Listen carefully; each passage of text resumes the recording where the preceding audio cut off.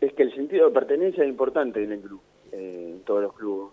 Si no, no, tenés el sentido de pertenencia o gente que lo pueda expresar, es difícil eh, para los chicos que vienen afuera.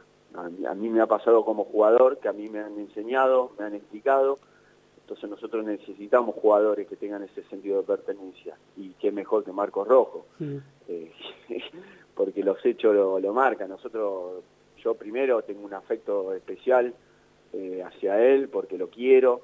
Eh, los que los conocemos sabemos el corazón que tiene, todo lo que dejó para, para venir al club y no se le dio porque jugó un partido y se lesionó, pobre, y bueno, y sabemos que él quiere revancha entonces seguramente el club tratará de hacer un esfuerzo eh, difícil porque bueno él está en el Manchester en el Manchester no es que está en un equipo de, segunda de, España o, Europa.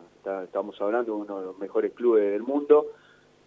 Mira eh, más allá de, que fue compañero nuestro y, lo que es como persona eh, como jugador hoy hoy por hoy que tiene 35 José eh, si vos lo ves en el equipo que está jugando, es la figura del equipo. Entonces, eh, más allá de la edad que tiene, está en, tiene actualidad y, está en actividad. No es un jugador que no, no viene jugando. Entonces, nosotros confiamos, eh, más allá de todo, sabemos la calidad del jugador que es José y la calidad de persona. Entonces, nos puede dar un gran plus.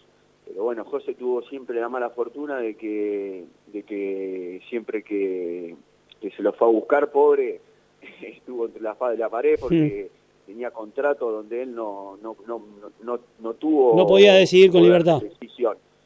No tuvo poder de decisión, entonces todos los años que siempre, eh, eh, yo me acuerdo que estaba en el club jugando, no, no, no es que no estaba, siempre que pobre que se lo fue a buscar estaba complicado.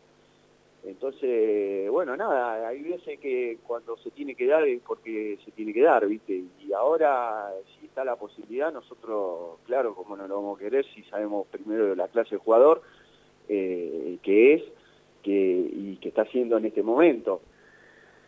No, pero en ese sentido... ¿O te la hace fácil?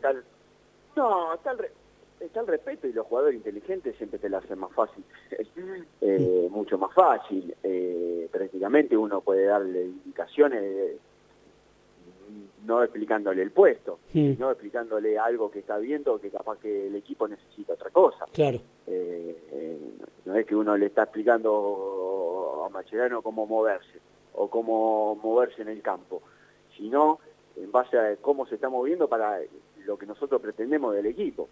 Eh, la realidad es esa.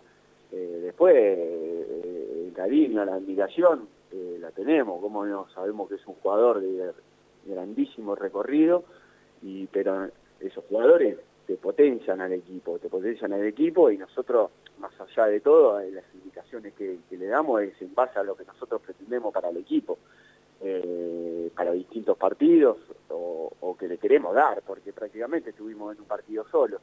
Eh, pero no, no, no, en ese sentido nosotros sabemos que, contamos con el apoyo de ellos, el respeto. Eh, nosotros tenemos también la eh, que hemos jugado, fuimos contemporáneos con ellos. Claro. Entonces tenemos un conocimiento de, de cuándo hablar, cuándo, cuándo, cuándo callar. también fue jugador grande sabe la carga que vos tenés. Entonces muchas cosas nos vemos reflejados en ellos, la vivimos. Eh, entonces, la verdad que se, nos hace más fácil, no, no, no, en ese sentido, no, nos gusta tener esa clase de jugadores porque sabemos que, el equipo ronda un poco en, ellos. Eh, los jugadores más chicos se apoyan en, ellos, en Macherano, Anduja, de Junque, y los jugadores más grandes, de Rojo. Entonces necesitamos que ellos estén bien como para que los chicos puedan crecer alrededor de ellos.